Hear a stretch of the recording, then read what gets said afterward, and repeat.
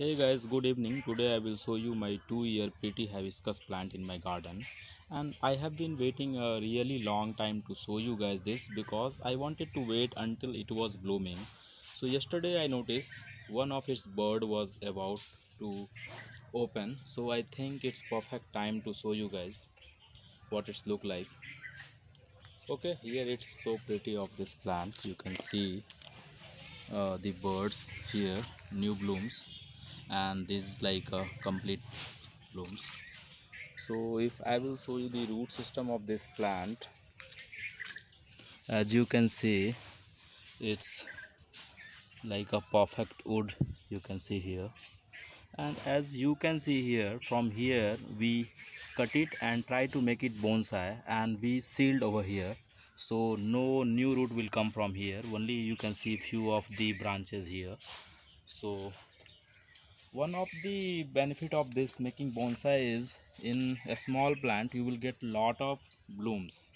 So that purpose i was created this plant.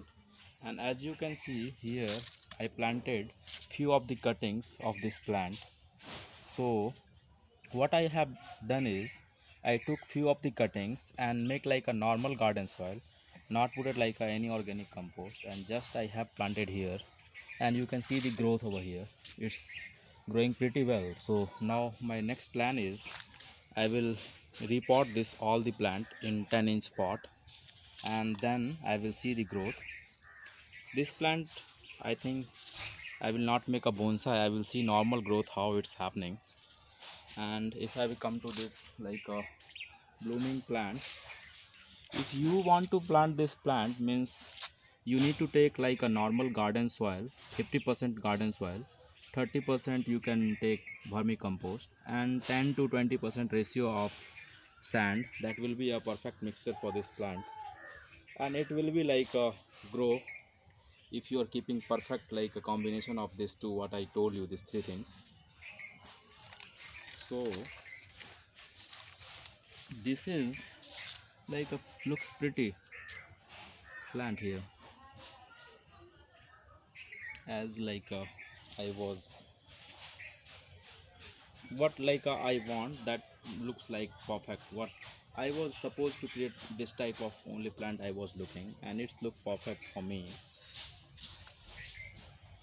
Really I took this plant from nursery and then I have planted this plant.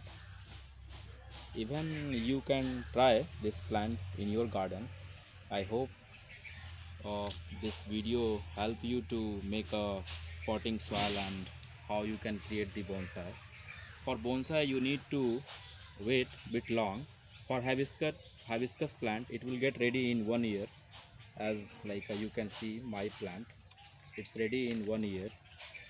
So anyway thank you guys so much for watching this video. I am excited to give you update on how it's look in the future and we will see you in the next one. Bye